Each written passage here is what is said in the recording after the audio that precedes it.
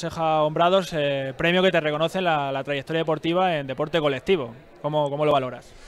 Bueno, pues eh, teniendo en cuenta la cantidad de deportistas que somos en España y que llevamos mucho tiempo dedicándonos a nuestro deporte y sobre todo en el deporte colectivo, que somos una potencia mundial, pues es un, verdadero honor el poder eh, disfrutar de este premio y bueno, pues encantado y orgulloso de que además sea por parte de la Fundación Estudiantes porque mi carrera profesional se inició en Magariños, un, que es eh, de alguna forma la cuna de, del Club Estudiantes. Sí, como dices, jugaste en el Magariños con el Atleti, también en Vista Alegre con el Atleti, eres como de la familia casi, de estudiantes.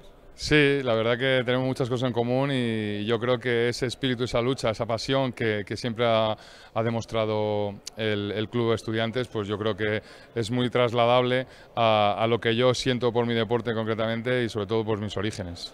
Un jugador de CAI Zaragoza que hace unos años dejó el baloncesto y se pasó al balonmano, no sé si te suena el caso.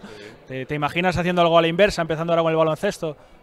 Bueno, eh, Borja lo hizo en su momento y ahora está, curiosamente, está en Qatar. Está jugando balonmano con la selección catarí y va a jugar unos Juegos Olímpicos. O sea que, que creo que acertó en ese cambio. A mí me pilla ya un poco tarde el, el, cambiarme de deporte. Si acaso podría sumarme a algún equipo de veteranos de baloncesto, aunque en la universidad sí pude, tuve la suerte de, de participar del equipo de baloncesto de la, de la Universidad Pontificia de Salamanca y, y bueno, pues hice ahí mis pinitos, pero, pero vamos, lo mío era la portería y sobre todo el balonmano. Y se dio muy bien, se dio muy bien. Bueno, eh, al final hemos conseguido sacar carrera. Muchas gracias, enhorabuena. Gracias a vosotros.